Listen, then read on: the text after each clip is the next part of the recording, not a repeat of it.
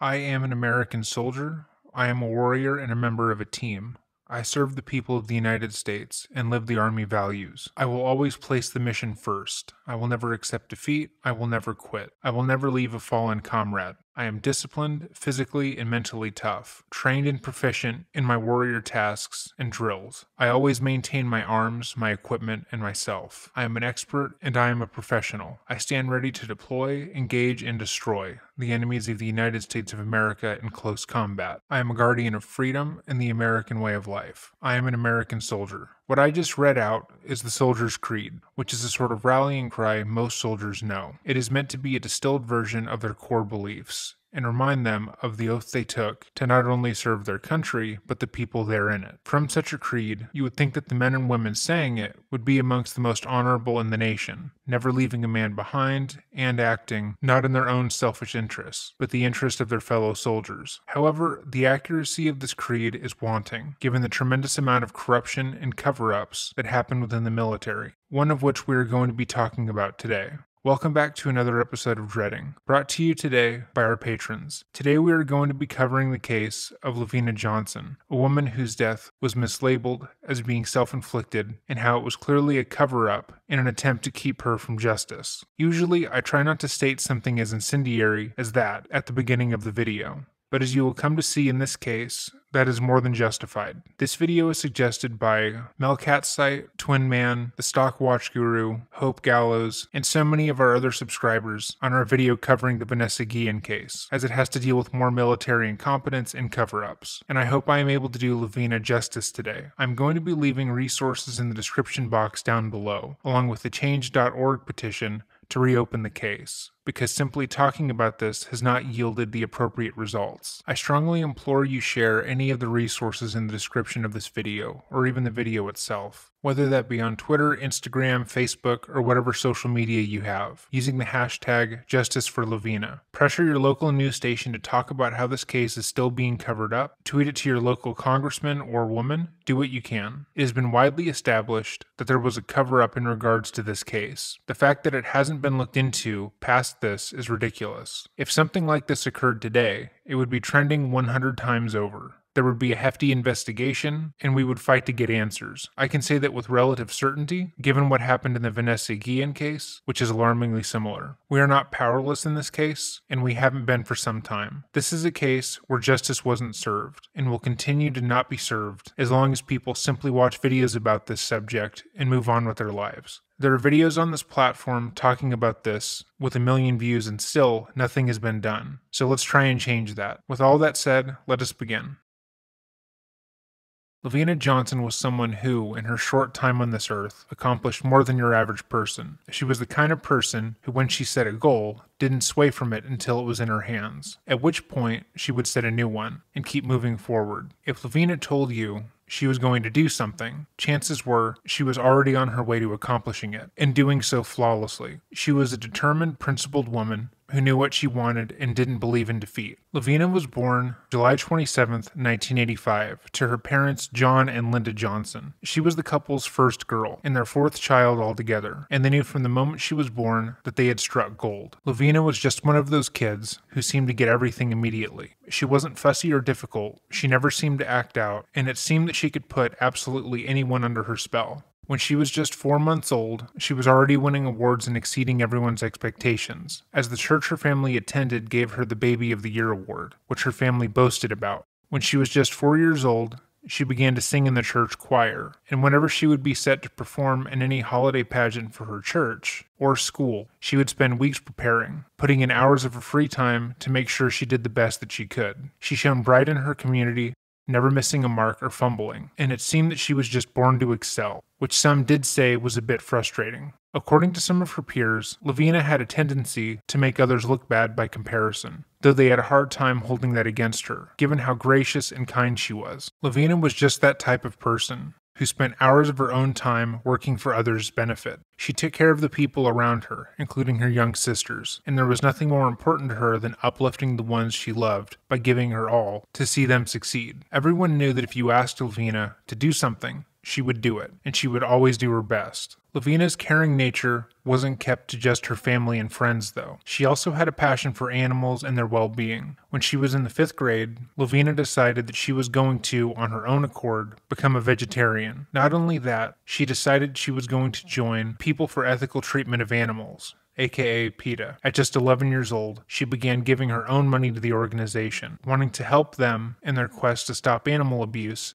and make the world a friendlier place. When LaVena was in high school, she quickly garnered the reputation of being a dependable, good girl. She didn't feel the need to waste her time messing around the way most teenagers do. In fact, some of her teachers would go so far as to say she seemed to have matured past her peers and seemed to relate more to them than people her own age. She was known for the charity work she was constantly participating in, as well as her good grades, which landed her on the honor roll. At the same time, she began to realize what she wanted to do with her life, and as usual, her goals included supporting the people she loved most, her family.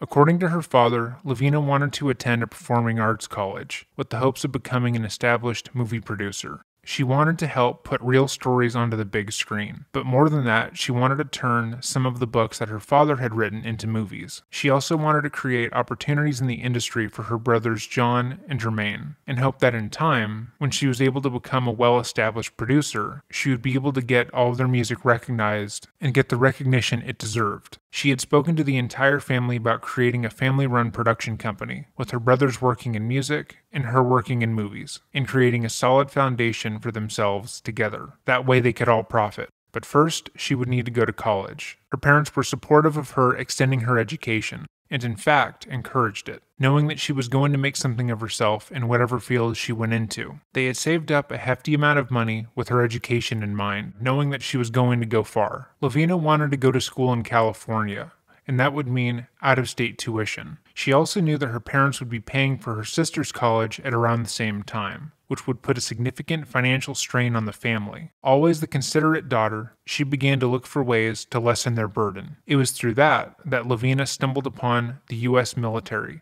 and decided that she would join after high school. Her parents were not incredibly supportive of this decision, despite both of them having worked in the army in some capacity. Neither thought that she should go into it herself, knowing that the environment wasn't great for young women. Her father, John, tried to get LaVena to reconsider, telling her that he didn't mind working harder to allow her to pursue her dreams, and that the burden wouldn't be as bad as she thought. But she was persistent that this was a necessary step to achieving her own dreams on her own terms, and informed them that she was simply telling them her decision and not asking for permission. A year after graduating from Hazelwood Senior High School with honors, LaVena was assigned to the 129th Corps Support Battalion, and deployed to serve a tour in Balad, Iraq. She had no idea that only eight weeks after, she would be murdered eight days before her 20th birthday, and the army that she served would try to cover up her death. From the moment LaVena touched down in Iraq, she was in near constant communication with her parents. Unlike so many soldiers who would be without the ability to talk to their families for weeks or months at a time, LaVena worked in the communications center, which essentially acted like an internet cafe. She therefore had plenty of access to various forms of communication, which she used to keep in near constant contact with her family. In fact, one of the things her friends and fellow soldiers knew about LaVena was that she came from an incredibly close knit family who she adored. She called them often, relaying stories about her time there and what she was doing, and when she mm-hmm. could, she also sent them letters.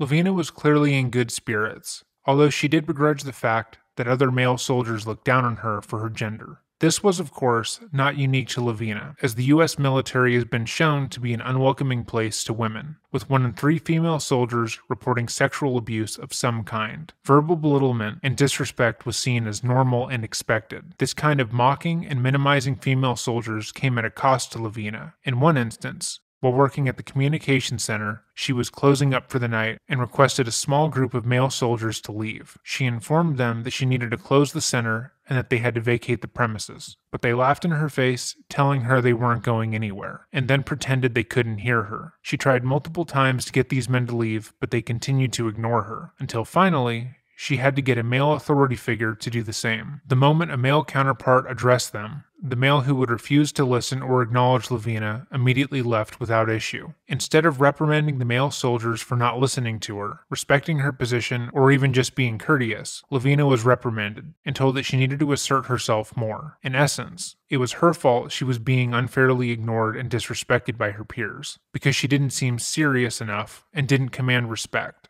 If she was tougher or carried herself in a more intimidating way, it would be better for her. Never mind the fact that LaVena had asserted herself, and they should have simply respected her position because of her job. Their actions were still placed on her. LaVena was a positive and strong willed person and thought that she would be able to tough it out quietly. In her mind, she believed that the majority of men who were treating her poorly were doing it because they thought less of her, and it was up to her to change their expectations. If she were to report their behavior or any of the transgressions that she experienced, she believed that that would make her look even worse, because it would show she was weaker than them. Her complaining at all about their actions would just show how she couldn't take a joke and needed special treatment, so she instead kept quiet quiet, choosing to endure their disrespect with the hope that things would turn around as she showed them that she was valuable. But as we know, that isn't the case and never is the case. After relaying this story to her family in a phone call, her father was furious. John, who again, experienced in the service as a doctor, knew that how LaVena was being treated wasn't right and would likely not change unless she did something about it. The disrespect that was being thrown her way, specifically by her superior, who had reprimanded her instead of the men around her, was likely going to get worse before it got any better and he urged LaVena to get a battle buddy. A battle buddy is a person who acts as a kind of protection in the service. They're a fellow soldier who you spend 24 hours a day with, seven days a week.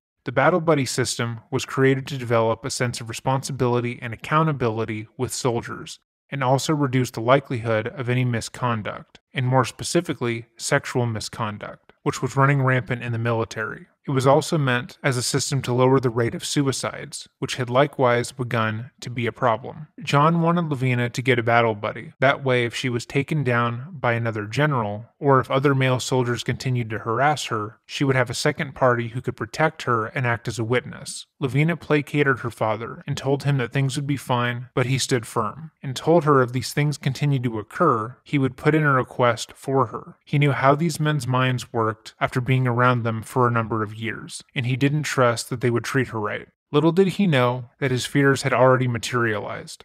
Unbeknownst to her father was the fact that at some point before she had been disrespected in the communication center, LaVena had been raped by a fellow serviceman. The details of what happened are unclear, but what was known is that after she had been raped, she had gotten an STD and was currently getting treatment for that from the doctors on site. This should have led to there being reports taken and a full investigation into her claims. However, it appeared that the military had no records regarding the rape or the actions taken by their staff afterwards, meaning that it is likely that the man who did this wasn't reprimanded or penalized at all. Many speculate that while LaVena had wanted to put in a report herself, she was dissuaded by the people she told and made to feel as if it was her fault the rape had occurred. That said, it is also possible that reports regarding her assault were destroyed after her death. LaVena hadn't told anyone in her private life about the assault, and it seemed as though she was trying to move past it, which might be why she bristled at the idea of getting a battle buddy, as she felt like she didn't want to stir any more feathers after her assault and wanted to try to go on as if nothing had happened. On July 17, 2005, LaVena called home around 7 a.m. and spoke with her parents. She was excited because she had just gotten word that she would be going home a lot sooner than she had expected, and she was going to be coming home around Christmas time, which was her favorite time of year, and she didn't want her family to start decorating without her. She was excited, making plans, and looking forward to the next couple of months. Before ending the call, her mom had asked if she wanted to speak to her siblings, who were still asleep. LaVena said no, and that she would call back in the next couple of days to catch up with them, and hung up. But that call would never come, because according to the military, two days later, she would take her own life. According to the military, the following is what happened on July 19, 2005.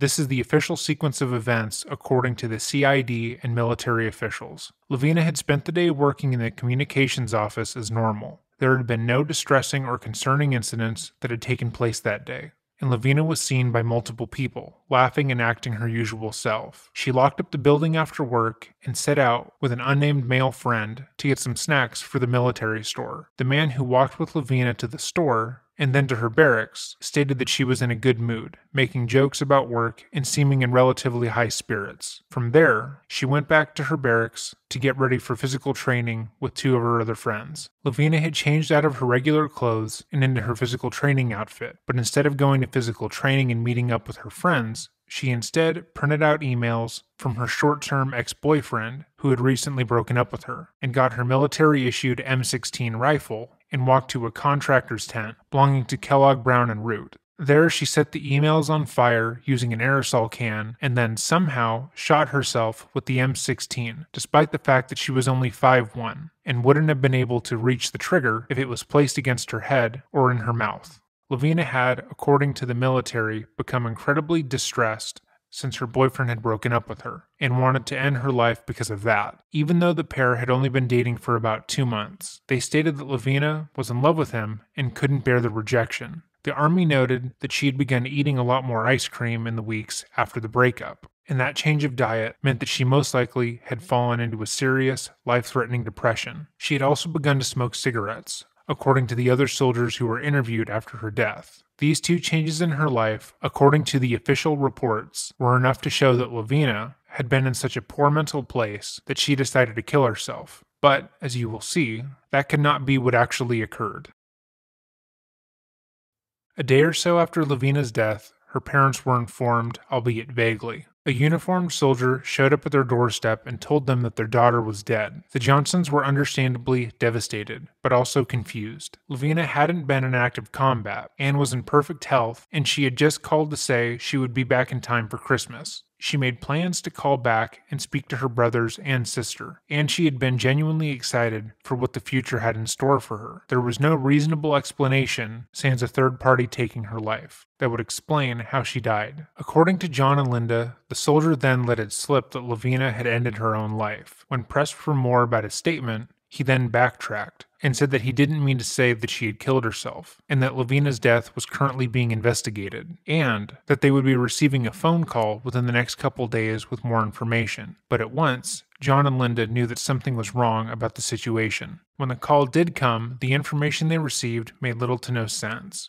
John had experience in the army and knew his daughter, so when they told him that she had shot herself in the head with an M16 rifle, he knew that couldn't have happened. She wouldn't have been able to reach the trigger, given her short stature. The gunshot was also on the left side of her head, and LaVena was right handed, meaning it was unlikely that she had shot herself. Not only that, but when they were given the results of the autopsy, it showed that LaVena had not fired the weapon that killed her, as there was no gunshot residue on either of her hands or any part of her body. Had she shot herself with an M16, there would have been gunshot residue on her, but according to their own evidence, there was none. When he brought up his concerns, the representative for the army tried to placate him, saying that she had somehow managed to kill herself in the way they had stated, even if it made no sense. The representative likewise informed him that they would be sending the body back for burial, and that it would be better for the family to do a closed casket, as LaVena's body was in poor condition. They tried in earnest to pressure the family not to look at LaVena's body, but the Johnsons didn't listen and felt compelled to see their daughter one last time before the burial. The Johnsons' insistence on seeing their daughter would then lead to them making some of the most critical discoveries in this case. Despite the Army stating her body would be too traumatizing to see, she wasn't as brutalized as they had said. It was clear that LaVena had gone through a tremendous amount of physical trauma before she died, but the injuries she had sustained didn't make sense if she had killed herself. Instead, it appeared as if LaVena had been badly beaten before her passing. Her face was bruised,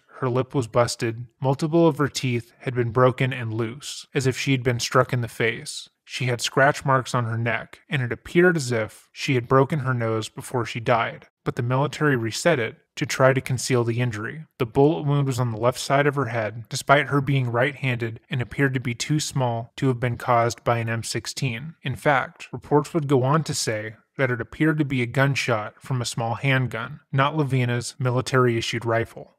But there was something even more alarming about LaVena's body, and that was the fact that the military had decided to glue her white dress gloves to her hands, preventing them from being seen by anyone. John and his wife tried to get the gloves off at one point, but were disturbed to find them adhered to their daughter's body. They asked the funeral parlor about the action, and they were informed that she had the gloves on when they gathered her body from the military. It was later found that her hands had third degree burns on them, and the gloves had been placed on them to conceal that fact. John would later go on to posit that the gloves were placed there to eliminate and destroy any further evidence that could have been left on LaVena's body, and to further consolidate the lies the military had been telling them. John and Linda knew something was wrong from the moment they were told that LaVena had killed herself. Even if she had been upset about her ex boyfriend, she had never made mention of it to anyone around her in a way that made them concerned for her emotional well being. They asked her friends in the army about her actions prior to her death, and one friend stated that while LaVena loved her ex and was sad that they had broken up, she wasn't too upset about it, quoting her saying, she knew that they would get back together the moment she got back home, and it was just a distance thing. So LaVena deciding to end her life over this made no sense. What also struck the Johnsons as odd was that the Army seemed insistent that her death had absolutely nothing to do with the sexual assault she had faced while deployed. Though she had not spoken to her family or peers about it, LaVena's sexual assault had taken a toll on her, as most assaults do. LaVena had to get treatment for the still unknown STD she had contracted, and given the lack of follow up or reporting, whatever she did claim to the doctors hadn't been pursued, meaning the man who had assaulted her wasn't penalized. It seemed that whenever the Johnsons talked about the assault on their daughter, or inquired more into what had occurred, the army would become unresponsive and try to tell them that LaVena wasn't upset about what had happened in that instance, that it had been no big deal and she had moved on from it, so they should as well. But John didn't let up though, and inquired as to if the man who had assaulted his daughter could have had anything to do with her death. He was then told that they had looked into it and ruled him out entirely. But also, they didn't know who had originally assaulted her, anyways, so any follow up would be fruitless. John then inquired as to if there'd been a rape kit done on LaVena during her autopsy, to which the military said there hadn't been, as there had been no reason to have done so because LaVena had clearly killed herself. But when John brought up the close proximity to her being sexually assaulted and her being killed, and how it should have been standard operating procedure to run one, the Army relayed to him that if he wanted any more information, he would have to go through their legal representatives, cutting him off entirely. At that point, both John and Linda were tired, heartbroken, and distraught. Going against the United States Army was no small task, and hiring their own legal counsel to investigate what was going on was something that seemed daunting and impossible. But after talking it over with each other, they realized that there was simply nothing else they could do. LaVena deserved to get justice, and so they began their crusade to get her name and case in front of as many people as possible. John began going on to different shows, writing news stations, and talking about his daughter's death to the public. And almost at once, people stopped and took notice. Nothing about what the military had said made sense and the more people who heard about it, the angrier people became. More men and women began coming forward, talking about how their daughters had likewise died under suspicious circumstances in the military, and how it had been written off as a suicide without much investigation. This was not a one time thing, and John speaking up gave others the courage to do so as well. As John continued to speak to the media, the U.S. Army responded, hoping to quell the outcry against them, and they released a 315 page file containing all the notes on the investigation on her death. But things would only get more confusing from there.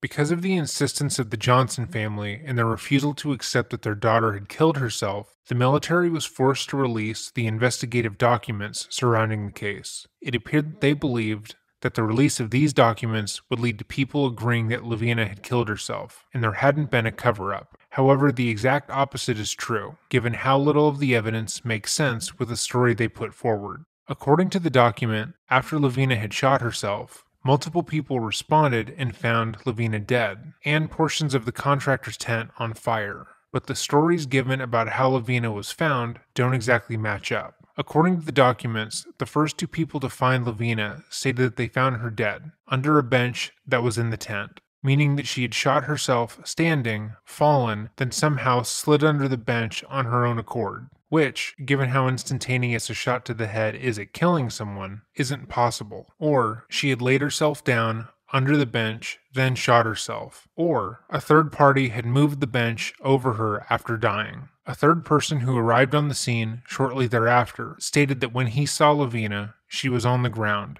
not under a bench, and the M16 was lying across her body. He also stated that parts of her body were smoking and slightly on fire, which is a huge detail that the first two witnesses didn't notice. Who had set parts of her body on fire? How had the previous two missed that her body was smoking? And why did they not see the rifle on top of her? A fourth person arrived after being called to provide aid, as they were a doctor. They didn't note that LaVena was on fire or smoking, and stated that her rifle was cradled over her left shoulder, not directly across her body as previously noted. He then moved the rifle in order to check for signs of life, to which he said there were none. Three other men, likewise, reported that when they found LaVena around the same time as the doctor, she was lying face up, with her right arm covering her face, and the rifle not stretched out over her body or cradled over her left shoulder, but on her left wrist. She likewise was not on fire or under a bench. However, in photos, the rifle would be shown to be a couple feet away from her body, completely removed from her person. Another party discussed how a civilian had flagged him down as he was driving by and informed him of a fire in a dead body in the contractor's tent. He described seeing flames near the tent that LaVena was in, and the two soldiers had carried a burning bench outside of the tent and were trying to put out the flames. He then looked in and saw LaVena, who was obviously dead, but not smoking or on fire. The various statements that were given seemed similar enough to the military, but the key notable differences raised red flags to those reading them and when they were released. Why is it that no one who found her that night could recall if she was on fire or not? And how are there so many discrepancies about that? How did her body get out from under the bench if she had shot herself and fallen straight down? Was the bench on fire when they found it? And how did she get under the flaming bench? Where was the gun when people originally arrived? On her body, in her arms, or elsewhere? How many people moved the gun before it was photographed? The document went on to showcase various interviews with her friends and colleagues. The vast majority of statements said she was as chipper and bright as ever. People who stated she was around every day talked about how continuously upbeat and peppy she was, and how excited she was to potentially go home for the holidays. A separate account from another trusted friend noted that she had in fact made jokes about suicide, but they were clearly jokes and never serious always made in hyperbolic manner. All except one statement seemed to agree that LaVena was a bright woman who wouldn't have purposely injured herself in such a heinous way. However, that lone statement contradicts itself and stands out as being incredibly odd and suspicious. The name of the person who gave the statement has been redacted so we will just refer to them by their pronouns, she and her. She stated that she knew LaVena since they were in deployment classes at Fort Campbell. She stated last month that LaVena found out she had an STD from a sexual assault. She then stated that during the last week of her life, LaVena changed her eating habits, gave her some of her possessions, and began smoking. During the past month, LaVena had stated several times that she hated her and wished she was dead. This was really the only account that validated the very idea that LaVena would want to hurt herself, and it went against a lot of other accounts of how she was. Though it is feasible that LaVena only acted in this certain manner around this one person, others who were closer to her in the unit, who spoke to her family, denied a lot of these claims, and stated that when LaVena would say she was going to kill herself as a joke, she would do so when she would stub her toe or messed up in some small way and it was abundantly clear that she was joking. They went on to say that LaVena hadn't changed her eating habits in any extreme way. It was because they were in the desert in an extreme heat. Regardless, it seemed as if the military had gotten this lone statement and decided that it was the truth, disregarding all of the other statements. The report then went on to state that the lack of gunshot residue wasn't necessarily an issue and didn't prove that she didn't shoot herself. The entire document did little to comfort the Johnsons or make it appear that LaVena had somehow done this to herself. In fact, it appeared to discredit itself multiple times over, making those who read it more suspicious of the people who were trying to push the narrative that she would have hurt herself when there were so many people who loved her who were stating otherwise. While the majority of it was unhelpful, it only seemed to add to the Johnsons' frustrations. There was something in it that piqued their interest. Amongst poorly scanned photos of the gun and the tent where LaVena died, someone had scanned in a CD ROM, stating that it had contents that were pertinent to the case although what exactly was on it was unknown. John immediately knew that whatever was in the case was vitally important, and he put in another Freedom of Information Act request on it, saying that he was entitled to all the information revolving around her death. The military denied this request and told him that the CD contained private parties' information, but John continued to persist, once again getting the media and politicians involved. In order to get the CD, the Johnsons reached out to Senator Lacy Clay and spoke to him about the case. Publicly, Clay asked the military to hand over the CD, and when they refused, he went around them and was able to procure it anyways. And lo and behold, the contents of the CD further proved that what had happened to LaVena could not have been suicide. The CD contained full color photos of her body at the crime scene, how it had been positioned, and where everything was when she was found. There were also photos of her prior to her autopsy, photos of her naked body and the trauma that had been inflicted upon her, and it went well beyond a shot to the head. LaVena had bruises and scratches all up and down her torso, which the military could not explain. It also appeared that there were bite marks on her, and teeth marks were physically present. Her elbow had been popped out of place and fully dislocated. The back of her clothes were covered in dirt and debris, as if she had been dragged a long distance prior to her death. Strangely, though, it appeared that someone had deliberately tried to set her naked body on fire, as her back had been charred, but had redressed her afterward and dragged her body a short distance. Her lower stomach had been beaten so badly that it was entirely bruised and blackened. The injuries that she sustained to her body in no way matched a simple suicide, and it seemed obvious that she had been brutally beaten before her death, most likely by more than one party. Someone or a group of people have bitten her, kicked her, and set her alight and dragged her, and there was no way she had caused this damage to herself. But unfortunately, there was more. The photos that were taken of LaVena's naked body at her autopsy showed that a caustic substance that Dr. Johnson believed to be lye was poured into her vagina, most likely to eliminate any DNA evidence that could have been tied to a rape. As a reminder, the military coroner had stated that they hadn't done a rape kit on LaVena or done any examination of her sexual organs after her death, because, in their words, there was no reason to think that anything involving this crime had been sexual, even though he was the one who had taken the photos showcasing how her vagina had been corroded with some sort of acid.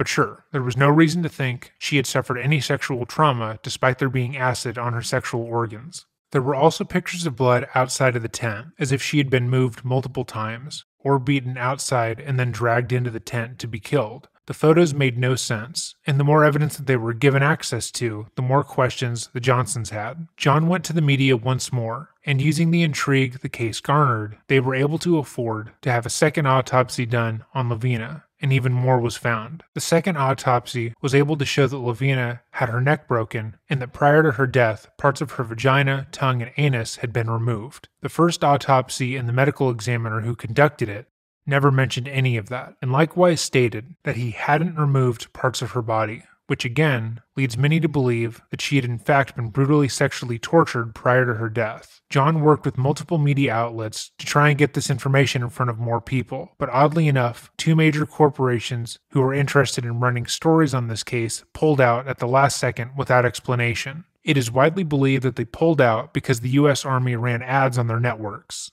John worked hard to keep the story in the news to try to get answers and justice for his daughter. But as time has gone on, fewer people have paid attention, and most have just accepted LaVena's death as being part of a cover up.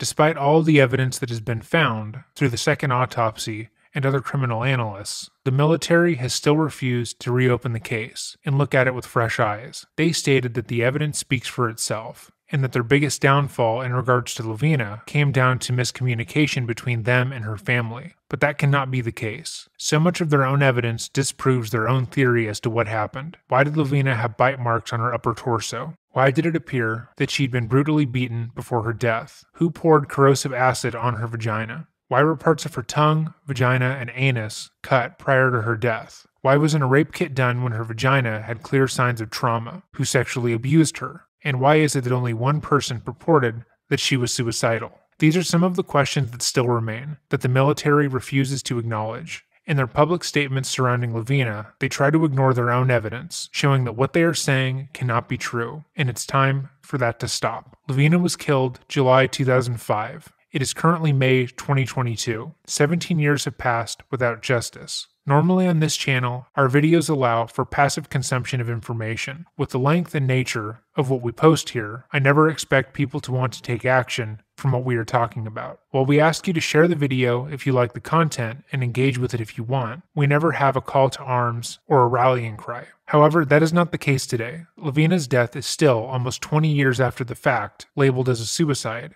The military has refused to reopen the case and look at it for what it is, and her family still has to deal with the absolute disrespect that this entails. Most who have looked into this case, politicians, former military, and more, all agree that something happened here and it properly wasn't investigated in order to protect the person or people who committed the crime, but they refuse to move forward past that. However, we are not powerless. With the dawn of social media, cover ups like this one can be called out and brought to light and we can utilize shame to make a positive forward motion. The shame and attention that was used to force Fort Hood into looking into the Vanessa Guillen case needs to be used now. Please click the link in the description and go sign the change.org petition to reopen LaVena's case. Tweet out using hashtag Justice for LaVena and tweet to your local news station, your local political leaders, and people you know who can make a difference. The more attention we can get to this case, the more shame we can bring to the people who refuse to reopen the investigation, the more likely we are to actually figuring out what happened to LaVena and the public can know who killed her.